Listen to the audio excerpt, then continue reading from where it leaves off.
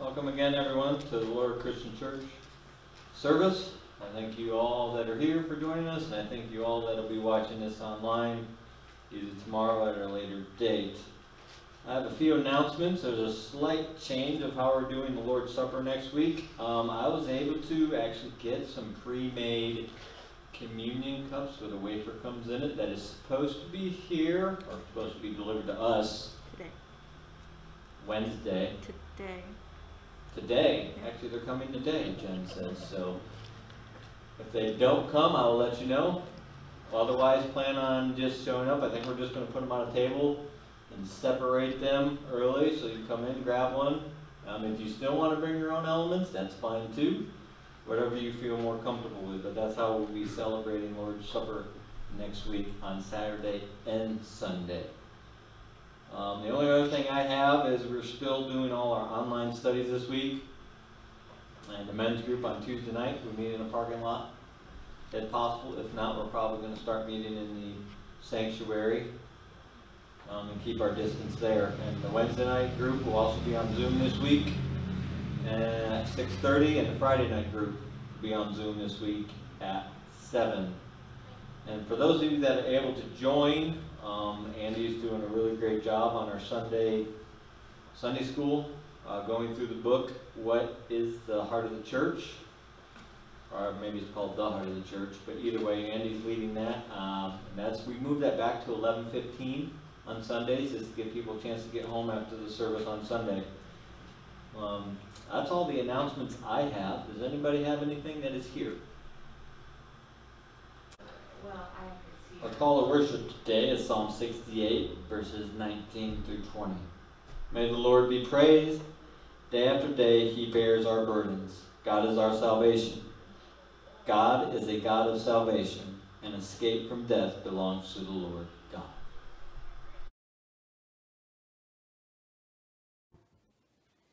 Marvelous grace of our loving Lord, grace Yonder on Calvary's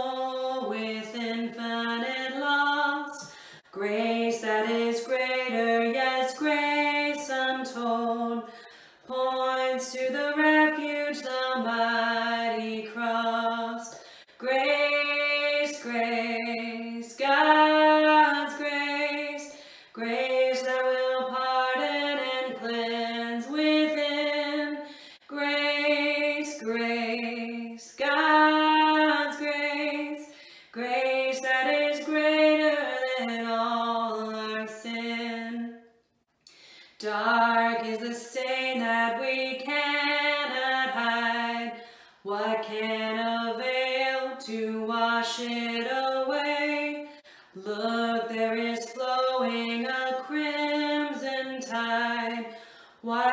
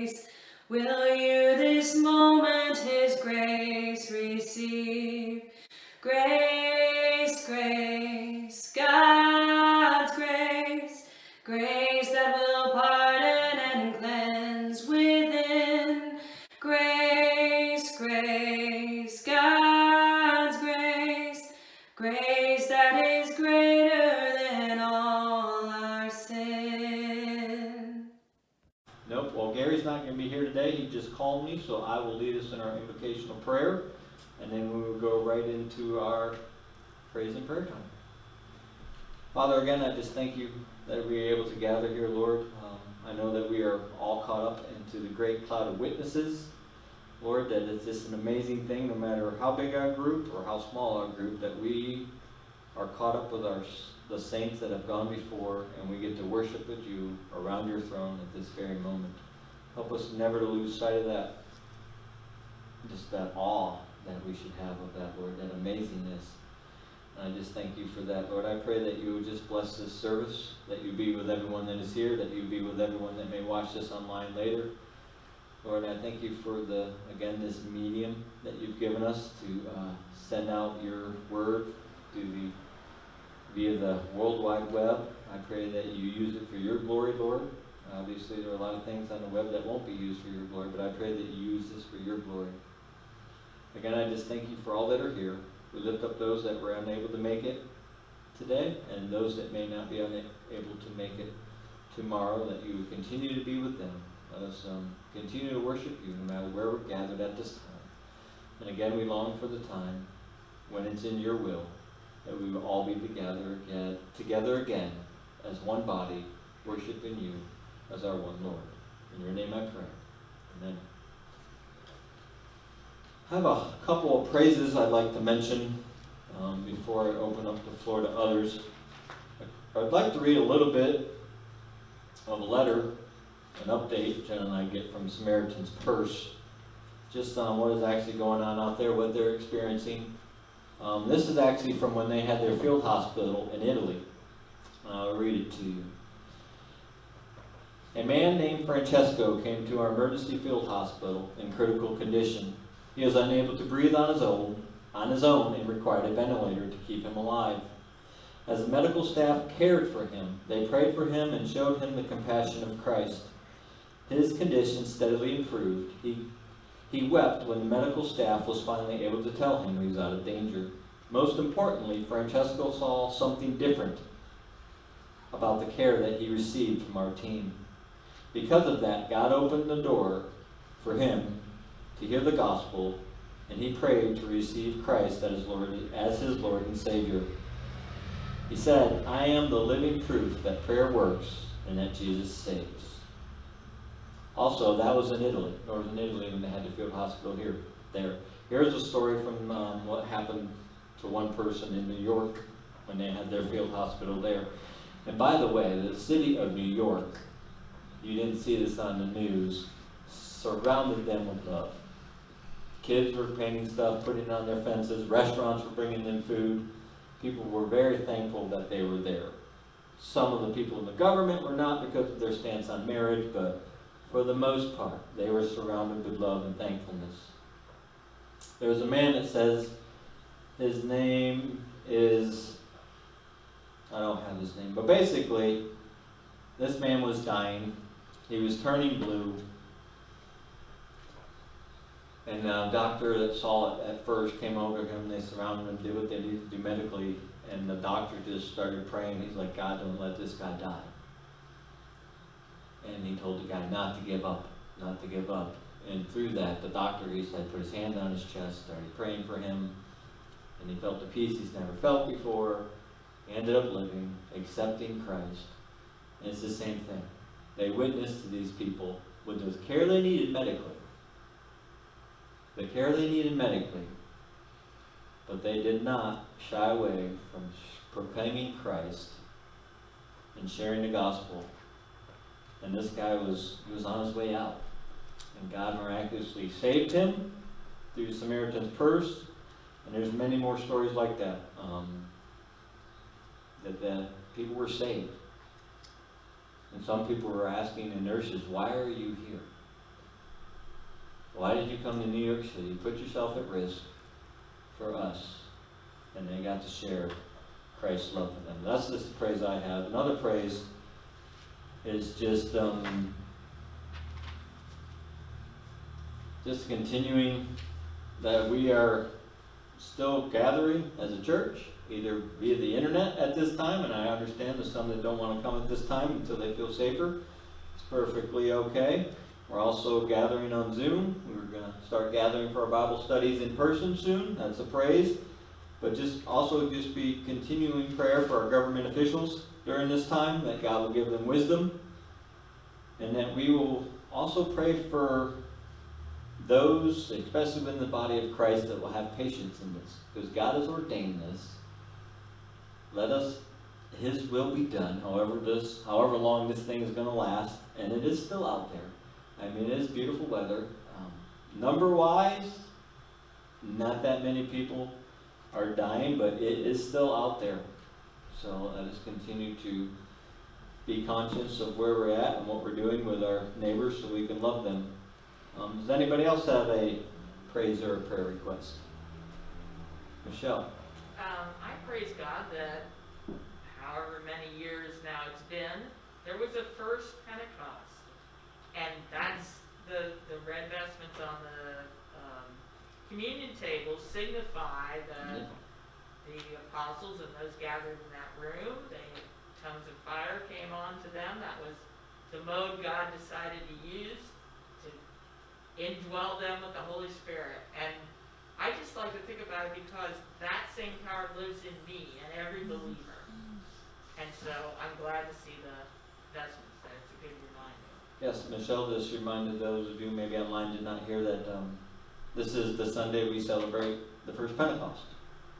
And it's this amazing thing that she said that God chose to send His Spirit in that way, and all believers today have that same Spirit. And um, God Himself chooses to dwell within us, which is an amazing thing. And then read the book of Acts. when the Spirit came, that's when Peter got boldness for the first time in his life to proclaim the gospel to others. And then the Spirit moved again when it went to the Samaritans, and then moved again when God was showing that He was saving the Gentiles.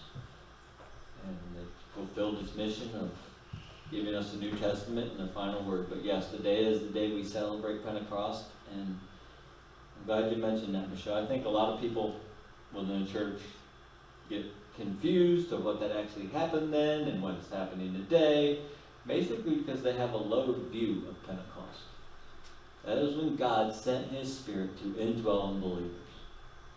All believers get His Spirit equally. And it is a beautiful thing. So, any other praises or prayer requests?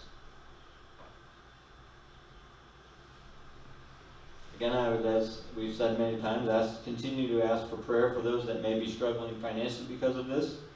Um, we have not received that many calls from help here at the church, so if anybody knows anybody, obviously tell us.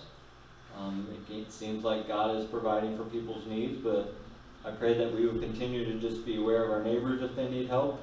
I know a lot within the body of Christ here in this local body have helped people that have been in need out of their own graciousness. We continue to lift that up, but let us pray that also when we help people with their physical needs, that will not be our main goal. That we would share the love and the gospel of Jesus Christ with them. Yes, Michelle. I have a prayer request. My brother-in-law is a police officer in Columbus. Um, obviously, it's not a great time for that, but I'm grateful that he does serve and has served, and for us to remember that, you know, there's people going to work every day doing things that we would never do. Um, so just, just that, and that he, God would speak to him about himself while he's doing this. Michelle says she has a brother-in-law that's a police officer in Columbus. to Remember them at this time, and obviously the city of Minneapolis. Um, that the gospel-believing churches there will have a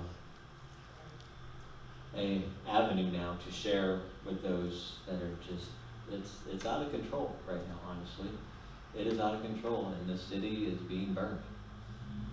The last thing I looked into, so we need to be praying for Minneapolis, for people's safety, and also uh, the, the the message of the gospel will go forth at this time. So, anybody else have a praise or a prayer? All right, let's again go to the throne of grace. Father, again, I just praise you and thank you for who you are. Again, I just um, lift up all these prayer requests that were mentioned here within this body that you have gathered on this beautiful Saturday afternoon. Lord, I just personally thank you for the weather that you've given us on this day, Lord. Whether it rains or it shines, we should rejoice and be glad in you. Lord, there are a lot of things that are happening at this time, as you know, that uh, have changed the way that we live our lives, from the coronavirus, Lord, to the upheaval we see in this country now because of another incident with a police officer. Lord, I pray that um, we would continue to respect the police, especially the body of Christ, Lord, that they are there to serve us, and they do do they do serve us. And I praise you and thank you for all them that serve. I pray that we will continue to just realize that they're not there, Lord, to try to hinder us or hurt us. That they're there to serve those that they were took the oath to serve. And yes, Lord, as you know, they're we're all sinners. We all need your grace, Lord. And what happened in Minneapolis was nothing less than sin. But Lord, I lift up that city to you now, as many others have, that you will continue to just be with the churches in that city, give them a vision of how they can minister to that city at this time, so your gospel will go forth. Lord, we just um, commit that whole city into your hands. We commit this whole country into your hands, Lord. We don't know what's going to happen in November in this country, as I'll talk about later in my sermon, Lord, but I know that whoever you put in the White House all the way down to the local mayor is who you want there, and that is the best thing for your kingdom to go forth. And I pray that we will remember that. And I thank you for the privilege that we have here in this country to even vote. Lord, I think it's our duty to vote based on what your word says, and you've given us the privilege to vote. And I thank you for that, that we can submit to our government by voting for our government. And I thank you for that privilege you have given in this country. Lord, again, I just, as has been mentioned, I praise you that uh, we celebrate this day that uh, many, about 2,000 years ago, you did send your Spirit to indwell in those that believe in you. And what an amazing thing that is. Your Spirit has set us apart for your use. You have sanctified us with your Spirit, and you continue to sanctify us with your Spirit. But Lord, as we continue on in this service, I pray that all the glory, all the glory be for you, that you will be the one that is lifted up at this time through the proclamation of your word, to the sermon, to the singing we will do at the end. Lord, I just continue to pray for those that um, still feel uncomfortable to meet at this local body. I pray for those that may be watching us online week from week, that may live close, that you will draw them in so we can meet them, you would just do the work in them as only you can do through your word going forth through the internet.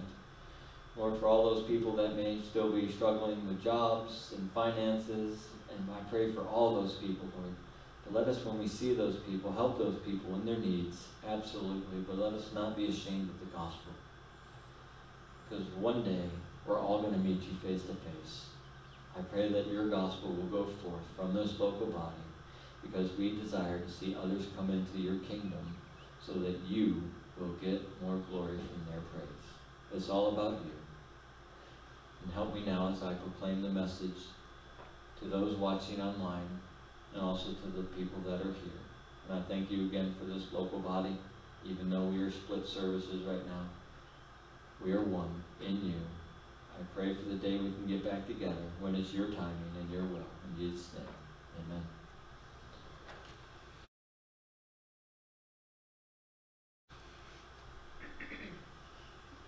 Our sermon series is still in the first book of Corinthians, as many of you know, as all of you know probably by now.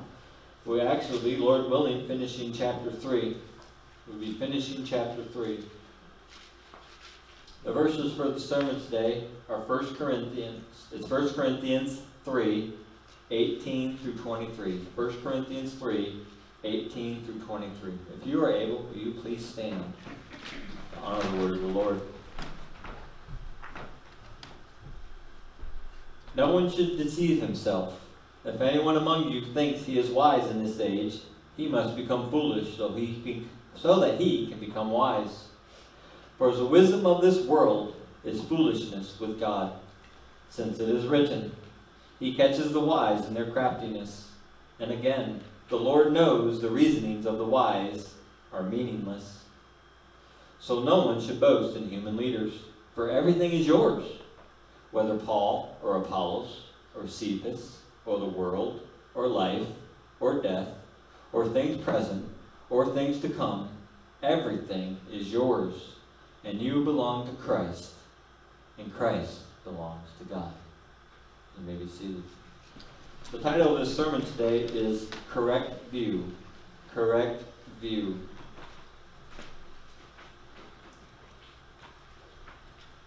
The older I get, the more I'm realizing that my eyes are not getting any better. And if I did not have my contacts in right now, I couldn't see any of you. I can barely see the fingers if I hold out my hand.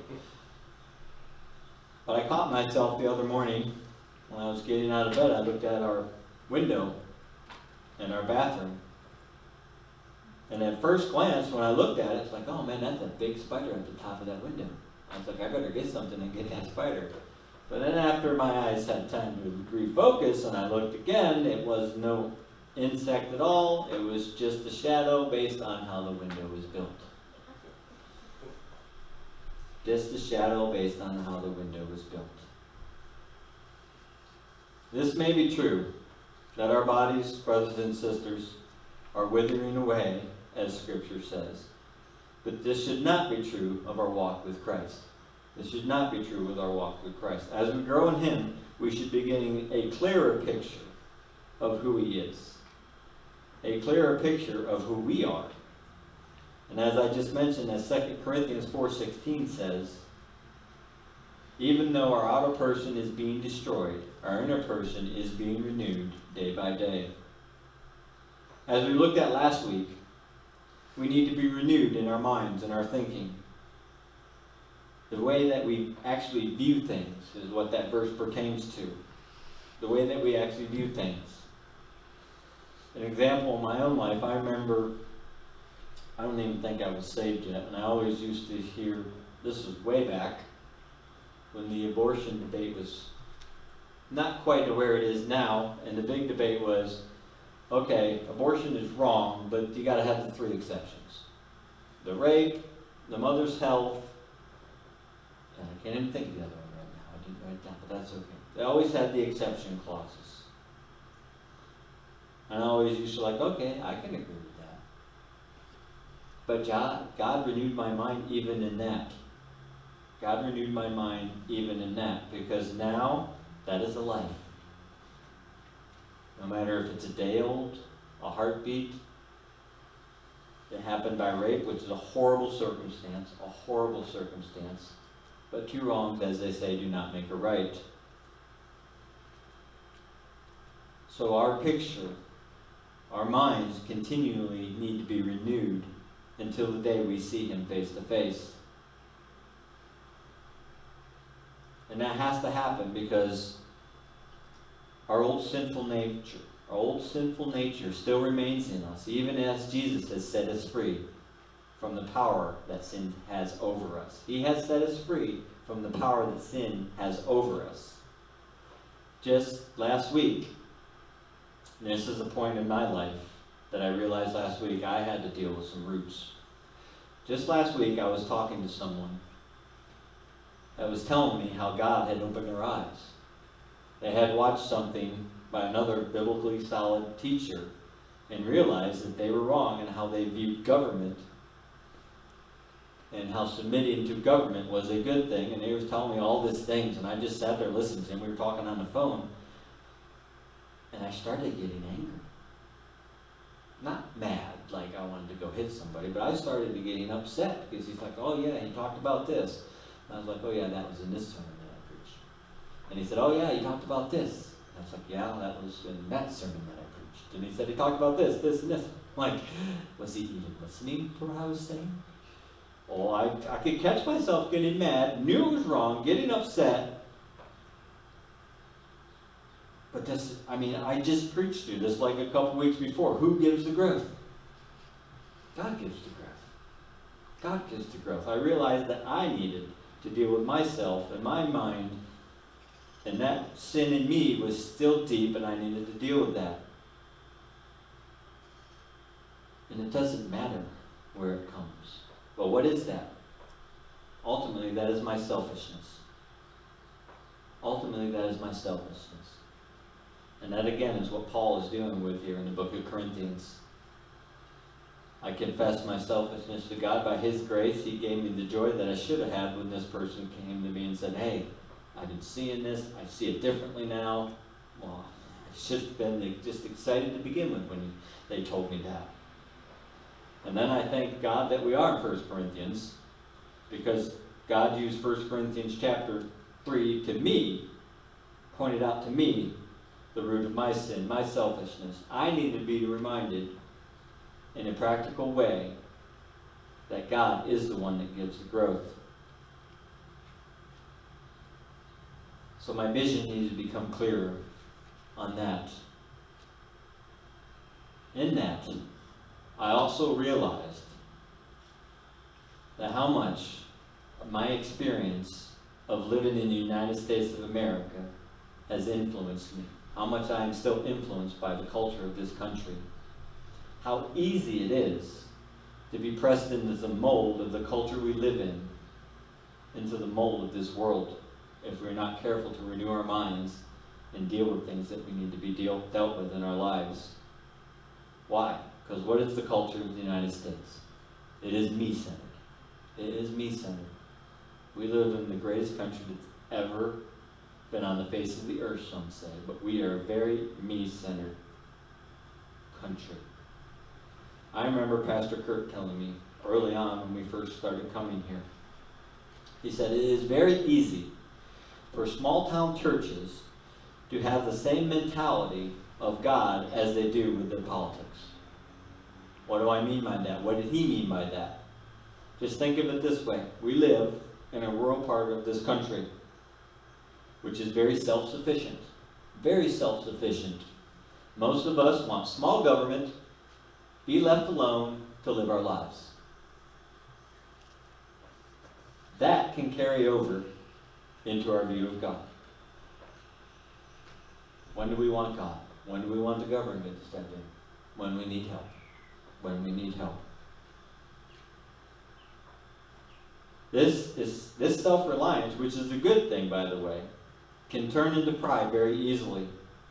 And what is pride? It is saying to God that you know better than Him. That you know better than Him. That you've got this figured out. You don't need anything. When the big stuff hits, I'll give you a call. This is what Paul is rebuking and addressing.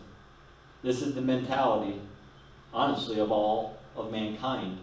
It is a look at me mentality. Look what I have done. Look at the club I belong to. Look what my family does. Jen and I have been talking lately about Facebook, which is a means that God is using to spread His Word. And please don't misunderstand this statement. I use Facebook. I know that God is using this technology, just as in the past He used the Roman road system for the spread of the gospel. He used a printing press when it came out for the spread of the gospel. And I just found out within the last couple weeks, through a video I got to watch, he used shortwave radio on a mountain in Ecuador to spread the gospel.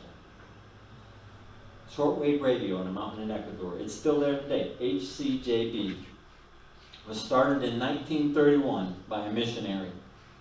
In its heyday, this radio, they put it there for a reason, this shortwave towers on top of the Andes Mountain in Ecuador, right outside of Quito, reached 80% of the surface of the planet. 80% of the surface of the planet, shortwave radio, on a mountain in Ecuador. 35 different languages were proclaimed. They got behind the Iron Curtain of Russia to the church there, and it was edified. And this just blew me away. Because I thought when I saw the title of the video we were about to watch, it said Germany and Ecuador. I'm like, all right, we're going to the Reformation with Luther and all them, and yeah. And what do we think of when we think of Ecuador? Jim Elliot. Killed by natives in the jungle. Didn't even talk about Jim Elliot. It was an amazing thing. And they're still broadcasting from this radio station in Ecuador. So God uses means, and He's using Facebook for this mean. But her and I were just talking like this mean that he is using now, Facebook, can very easily turn into a look at me mentality. A look at me mentality. There are some people that live their lives through Facebook. Show us everything to do every day, what they're doing, how they're posting, and then I've seen responses by others like, oh, I'm so jealous of your life. I wish I could be doing that. It's like, what are we doing? What are we doing? So again, I'm not saying don't use Facebook. But just, why are you posting things on Facebook? Ask yourself that. Is it for His glory? Or is it so people will say, look at me? And this is what we see before us in this passage today. This passage is Paul's forceful summary of his arguments that he started in verse 118, chapter 1, verse 18. This is his forceful summary of everything he's done since 118, as one com- commentator noted. He is pointing out to the Corinthians in his summary statements, which are two Old Testament quotes, by the way, you better be careful not to think too highly of yourself. In fact, you need to be thinking less of yourself and more of Him. Charles Hodge said it like this when commenting on these verses Let him, us, renounce his own wisdom in order that he may receive the wisdom of God. We must empty, we must be empty in order to be filled. We must renounce our own righteousness in order to be clothed in his righteousness, the righteousness of Christ. We must renounce our own strength in order to be made strong in him. We must renounce our own wisdom in order to be truly wise. Hodge goes on to say that we must renounce all that is in us, simply because those things we value in our sinfulness, that we value our sinfulness, are ourselves. Ourselves are sinful. Are truly, eh, are truly worthless. The things that we value, which are sinful, are truly worthless in the economy of God. It is simply because they are, in fact, worthless, and we are called upon to regard them as such. Look at verse 18. No one should deceive himself. No one should deceive himself. If anyone among you thinks he is wise in this age, he must become foolish, so that he can become wise. It is easy to be caught up in thinking that we are wise. As I was reminded this week, this root goes deep. This root goes deep in us, and it is watered. It is watered by a culture that we live in today, as I have stated. The question of how do I look to those around us is the society we live in. How do we keep up with the Joneses? How do I look to my neighbor? How do I look to this? What car am I driving? What am I wise? What am I wise in? Myself or God? These are questions each of us will have to answer for ourselves. And God will deal with you where you're at, as He dealt with me where I was at. But let us remember this. Let us remember this. Look at verse 19. For the wisdom of this world is foolishness with God, since it is written. And here's his two statements, his summary of everything he's been dealing with chapter 1, verse 18. He catches the wise in their craftiness. And again, he states another passage. And the Lord knows the reason reasons of the wise are meaningless. So there are the two Old Testament quotes.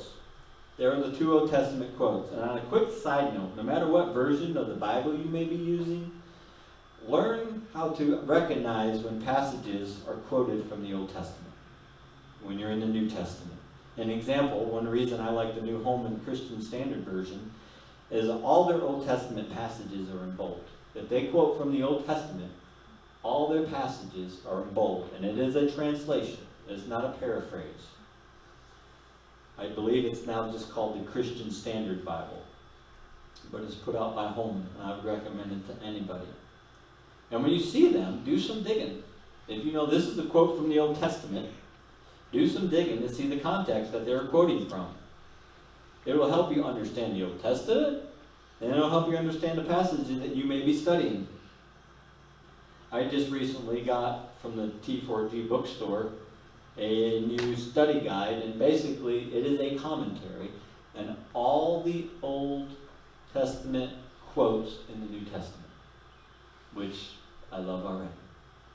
So if I see a quote in the New Testament, I can go to this commentary and they say, okay, this is what they quoted it from, which will be noted in a good Bible also, by the way.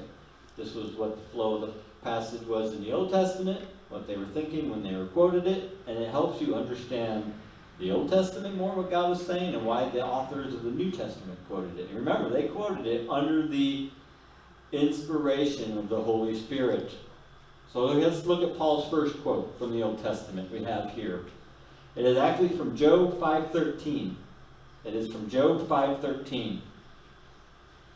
And Paul is using two quotes as his final thrust, his summary statement of everything, again, that he's been saying for almost three chapters. And the flow of thought from Job 5.8 to 5.16 is this. It depicts God as a great, unsearchable, and marvelous. It depicts God as great, unsearchable, and marvelous. He is the one that does great and marvelous things. It sets up an opposition between the wise and the poor also in this passage. The wise would be those that think of themselves highly, and the poor would be those that do not think of themselves highly. They think of themselves as nothing. Those that realize their value comes from God, that their wisdom comes from God.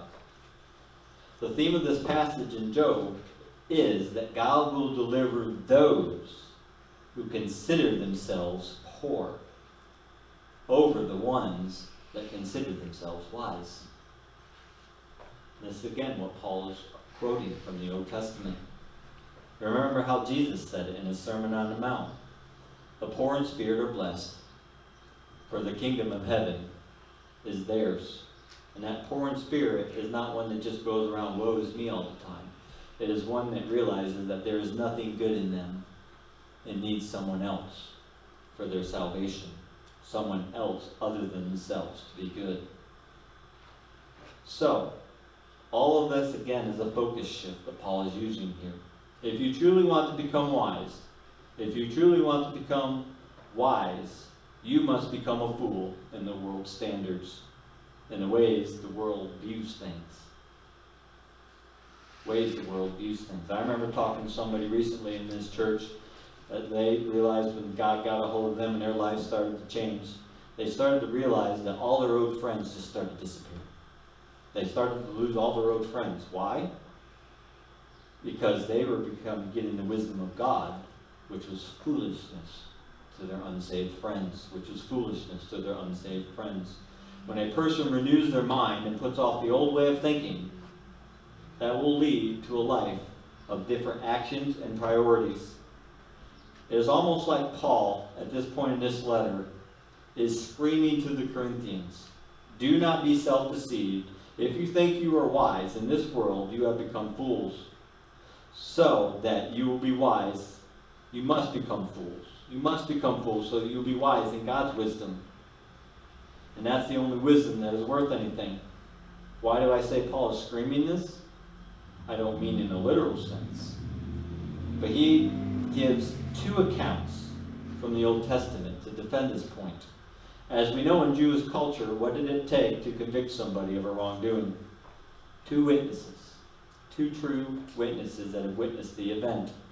I don't think it's by accident that Paul is grabbing two witnesses, if you will, from the Old Testament to put the clincher on this point. So let's look at the other one. Let's look at the other one, which is from Psalm 94:11. Psalm 94:11. The Lord knows the reasonings of the wise are meaningless. That is Paul's other quote he uses from the Old Testament as his climax to defend what he's been saying for almost three chapters. Psalm 94 stresses this. Stresses this. That in spite of the manipulative and corruptive leadership by those in authority, the schemes of these human persons fail because of their best thinkers, because their best thinkers are fallible. The psalm also promises that blessing awaits those who depend on God. He will not abandon them, but rather will teach them and aid them in their time of need. After that, after Paul's two defenses at this time in the Old Testament, what do we see? What's his next line? So, no one should boast in human leaders. He gives the two witnesses from the Old Testament. Says, if you don't believe me, here's the written word. Because remember, when Paul was writing this book, at that time, within church history, it was not scripture yet. So he is using scripture, God's word, the Old Testament, to say, here's my climax, here's my defense. No one should boast in human leaders. I just showed you why. It's almost like he's asking, how can one boast in human leaders? How can one boast in the wisdom of the world? Even if that leader is good and godly, he's saying that leader should not be boasted in. Does this mean we should not honor leaders? No. But what is the difference between honoring leaders and boasting in leaders? I think Hodge says it well when he says, when quoting numbers, commenting verse 21. To glory in a person or a thing is to trust in him, or it is as a ground of confidence, or as a source of honor or blessedness. Do we trust in our human leaders, or do we honor them for what they have done in God? We are living this right now. I believe in our culture. We are living this right now in our culture. First, let me say, as this illustration is coming out, I believe we may be facing the most important election this country has ever seen in November. From the national level all the way down to the local level. And honestly, your local officials may be even more important than the national ones. So I would encourage you all to vote, all to vote. And I believe it's our biblical responsibility to vote. We are living in a time of history where different political choices is like choosing from night and day. It is night and day now. Their platforms are on two opposite spectrums. One platform wants to protect life and liberty, the other wants to destroy life and take away liberty. So I pray that you will do your civic duty, that which God has given you, and take it seriously this November. But there are some other things that concern me in all of this. Some other things that concern me, and I will mention one. We are seeing this even within the body of Christ. That there are those that think our current president is the one that's going to turn everything around. They are not honoring him as the president, they are boasting in him as the president.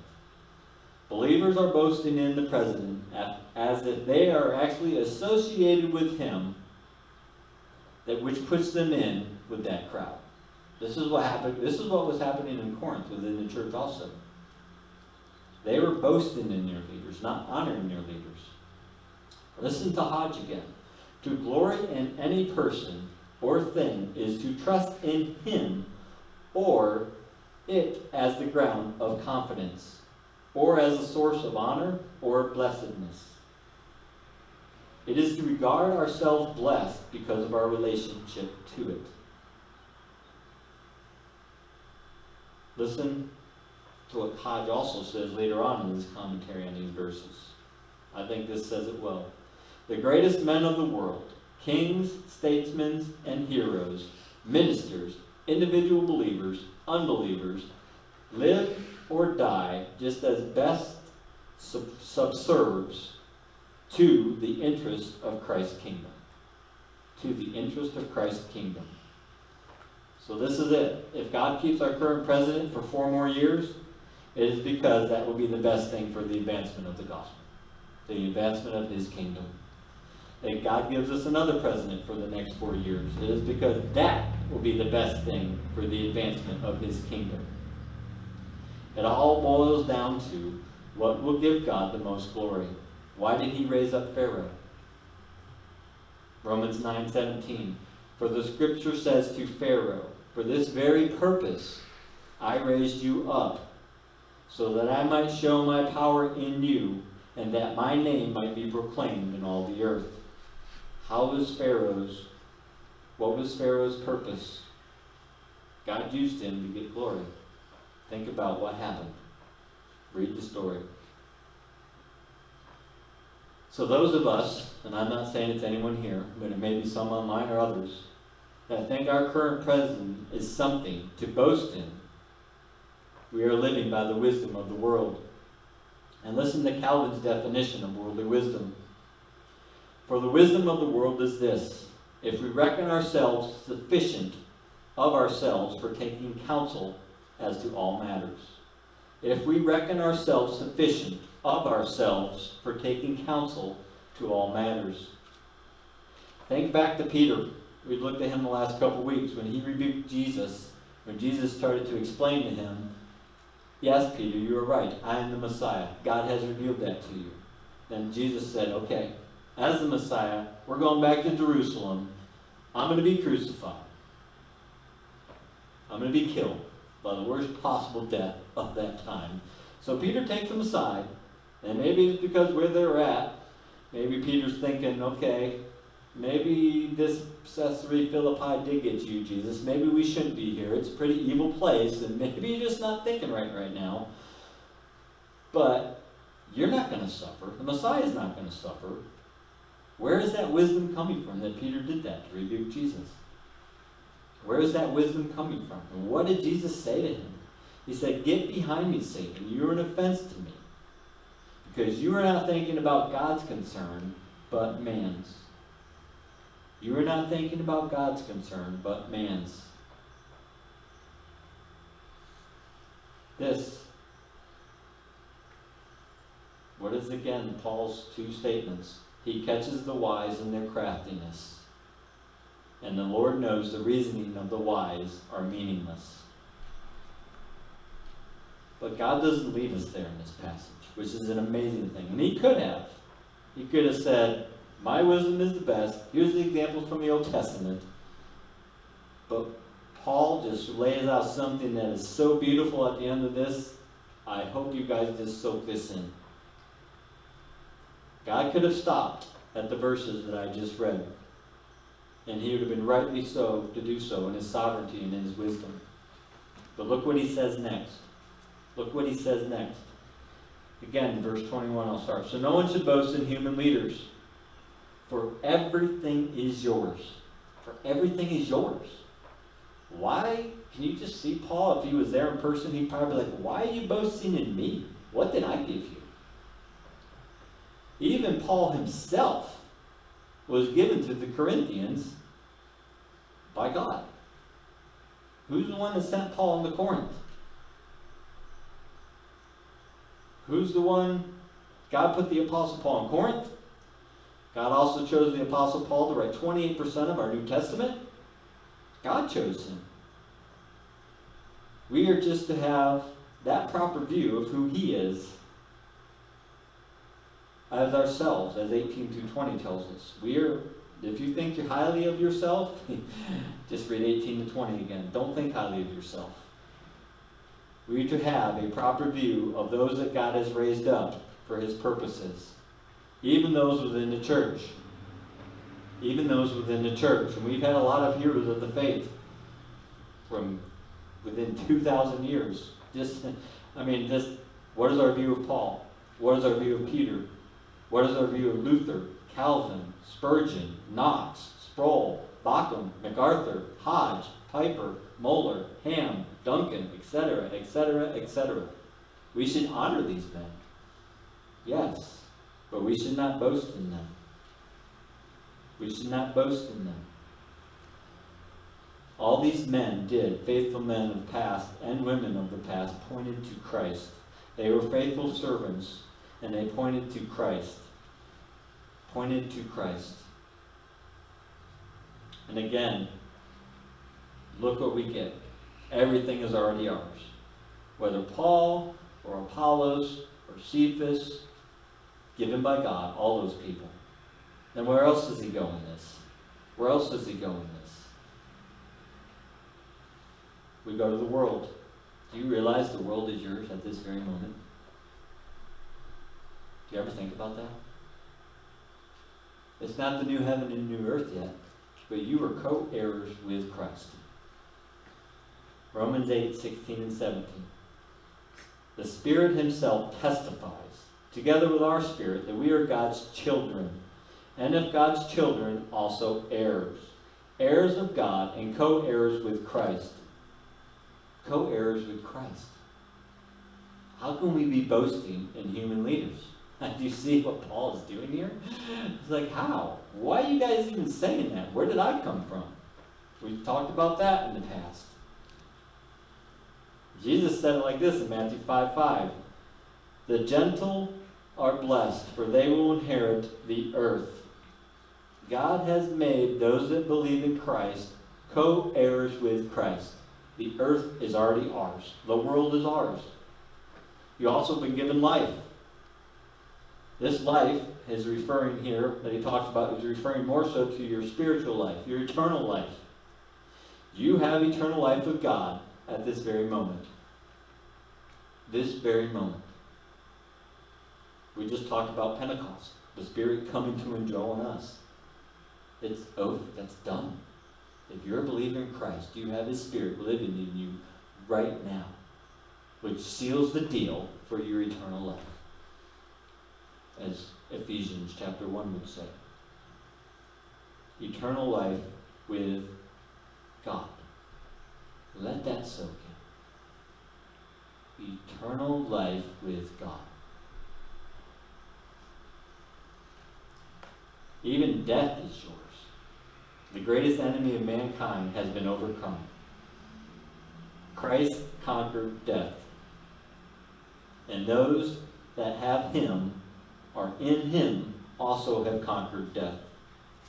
Your death will usher you into the very presence of God. Your death will usher you into the very presence of God. You will behold the Lamb that was slain. You will behold your very Savior face to face.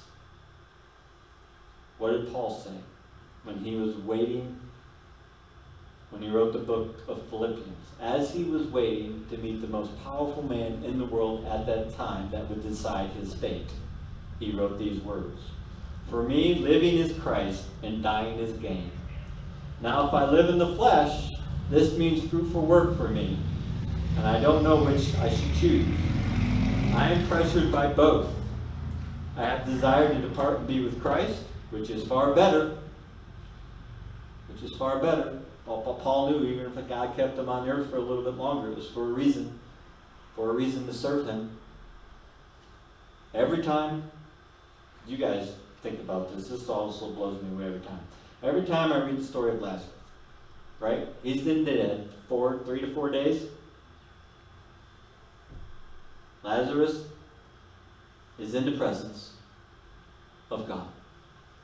Do you think the conversation may have went something like this? I've often wondered. He's like, all right, God, I'll go back. because I know you want me to go back. But how long are you going to keep me back there? I mean, Lazarus died twice.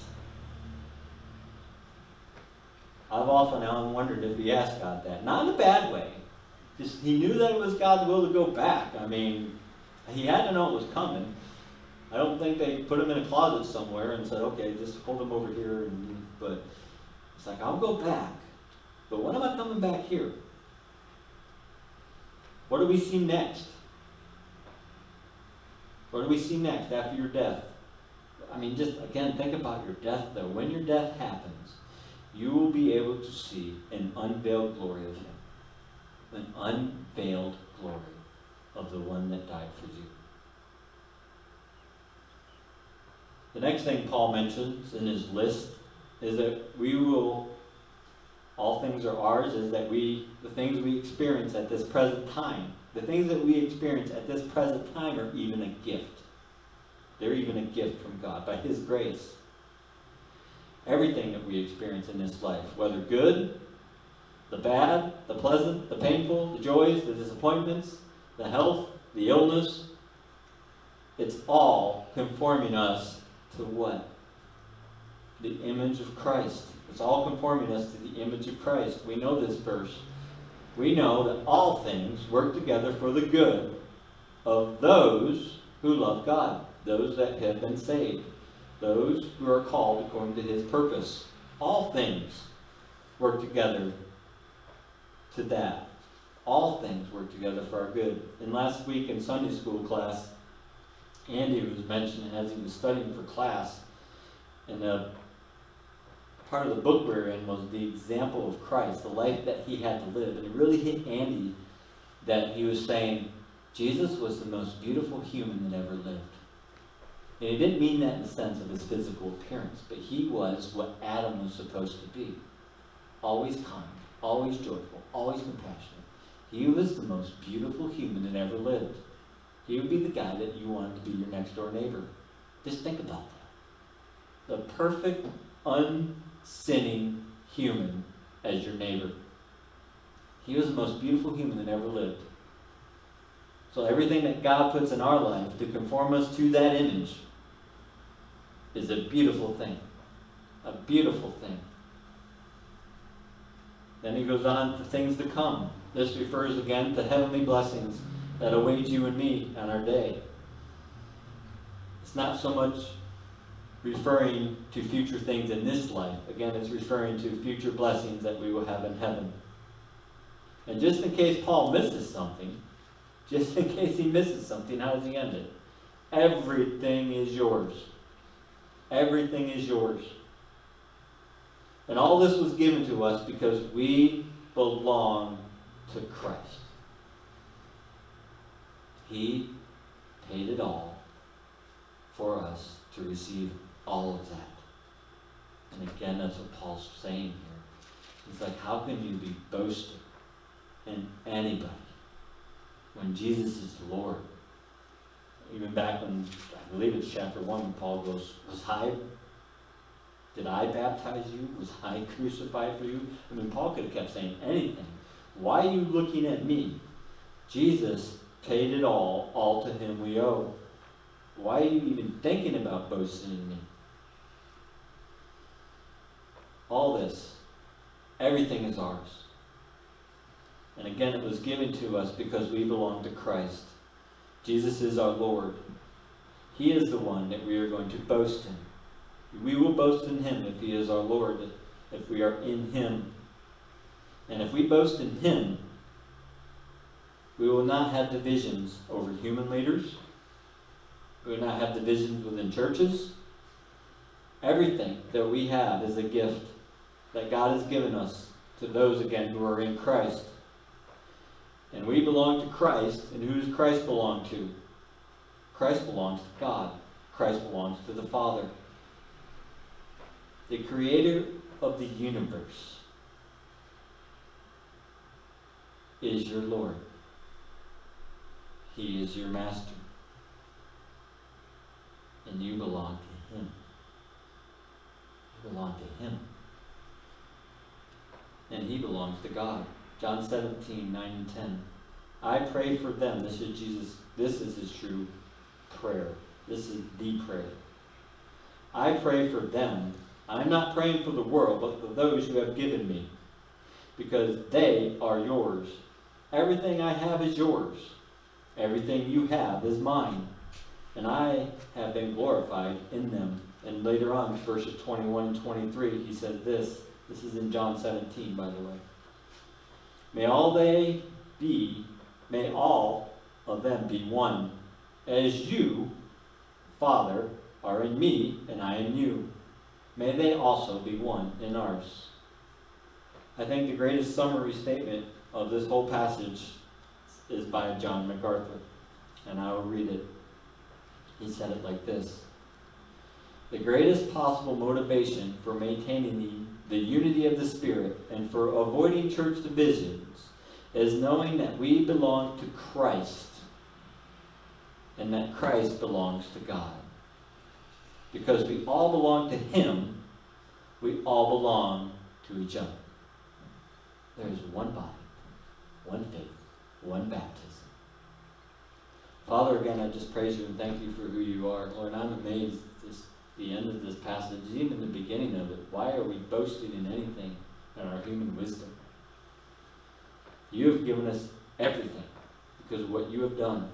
Because you came, you lived that beautiful, perfect life that we could not live. The life that satisfied the obedience that was needed, the human obedience that was needed to glorify the Father. Not only did you live that life that we could not live, you died the death that we deserve. Lord, in your death, you purchased a bride for the Father to give him that he gave you, and the Spirit seals the deal. Lord, help us to boast in you. Lord, help us to share others about you. Tell others about you and your beautifulness. Just by the simple fact that we want others to praise who you are. Yes, we should be concerned about their souls and where they're going. But Lord, let us be fervent to see more people praise you for who you are. Let us go forth and let us boast in you only, for your glory alone. Amen.